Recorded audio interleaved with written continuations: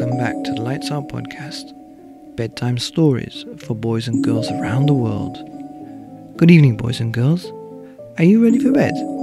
Are you all snuggled up and ready for another Lights Out bedtime story? Good, because you're in for a treat tonight. We have part 10 of Zoo Friends, the awesome collection of animal tales. And last night you heard about Hippopotamus, who was blowing the bubbles. Tonight, we've got a book called Quiet by Paul Bright and Guy Parker Rees.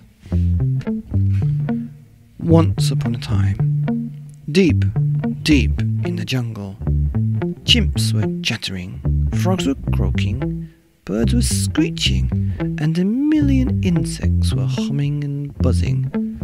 What a lot of noise!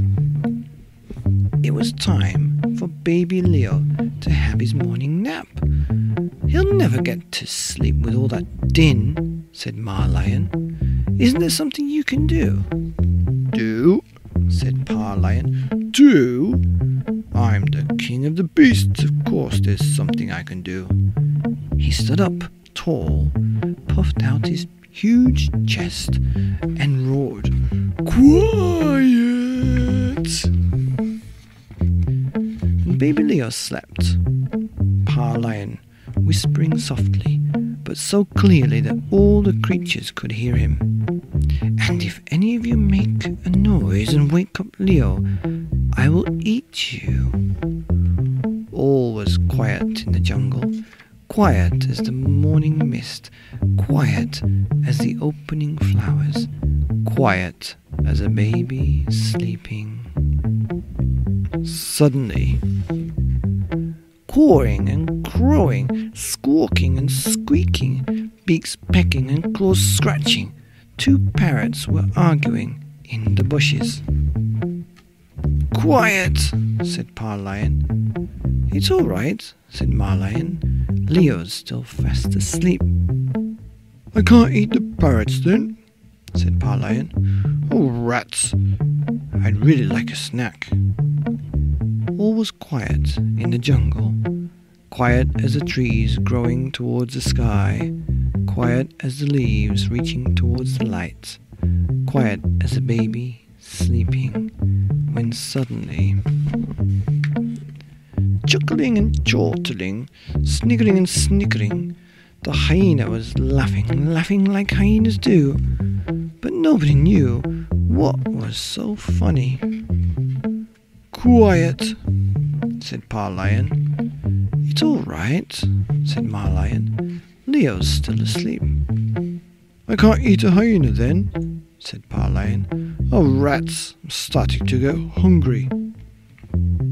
But all was quiet in the jungle, quiet as a calm after a storm, quiet as sunshine after rain, quiet as a baby sleeping, until suddenly, howling and hooting, screeching and chattering, swinging and swooping, a family of monkeys was leaping through the trees. Quiet, said Pa Lion. It's all right, said Ma Leo's still asleep. I can't eat the monkeys then, said Pa Lion. Oh, rats, I'm hungry now. Really hungry. It was the middle of the day, and the jungle was hot and humid. The animals sheltered in the shade of the trees, drowsy and dozing.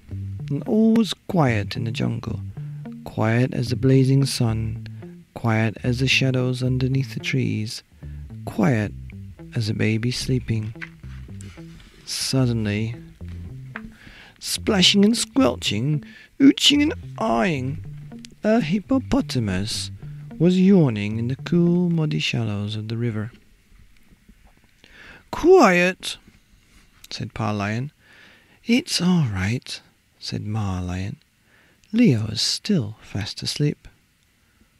I can't eat a hippopotamus then, said Pa Lion. Sometimes, my dear, said Ma Lion. Your eyes are bigger than your belly. Oh, rats, said Pa Lion. I know this is terrible, thought Pa Lion, but I do wish somebody would make a little more noise and wake up baby Leo just for a minute.